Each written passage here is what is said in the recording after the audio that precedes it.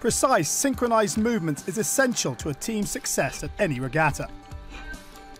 Trying to get eight guys um, rowing very, very precisely together is quite a hard thing to do. To get everyone rowing together, there's a different element of things we do. We do a, like a lot of kind of mileage, we call it, just endless kind of plodding up and down. And as a nature of doing that, you kind of subconsciously just start moving together and rowing together.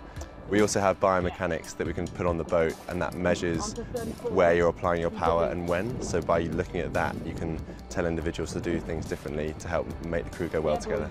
You need the strength, but you also need the precision. And some people, some people are stronger, obviously. So the middle of an eight are for the big, the, the, the oxen, really, of the rowing world, the big guys. And, and then the outsides, you can put smaller people in who are quite precise because you need the technical aspect of it as well. Basically, they have to be like a ballet dancer, um, rowing in time with lots of synchronicity, but they also have to be producing lots and lot of wattage per, per person.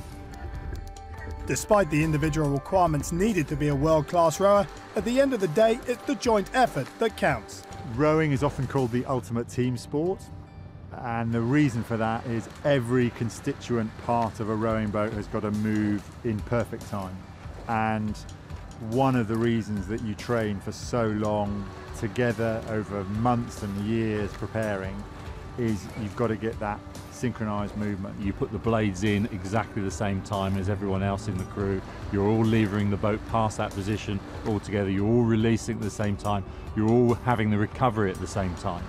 Uh, and so that brings a sort of a, a, a different dynamics into it because you know you have to rely on everyone in the crew every stroke of every outing and of every race to try and get across the line first.